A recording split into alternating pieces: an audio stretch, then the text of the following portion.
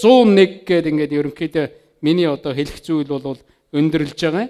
Цаашаага би төрийн албаны тэр иргэн харьяатын улс төрийн намын мөн одоо албан тушаалтнуудтай хариуцлага тооцох. За тэр төвийг сахих иргэний улс төрийн эрхийг хэрэгжүүлэх гээд олон төрлийн одоо хуулиуд байгаа. Нэгүгээр хэлбэл төрийг хариуцлагатай болгох чиглэлд та бүхнийхээ дэмжлэгийг авч шахаж шаардаж ажиллах болно. Хийх ажил бол маш их байгаа.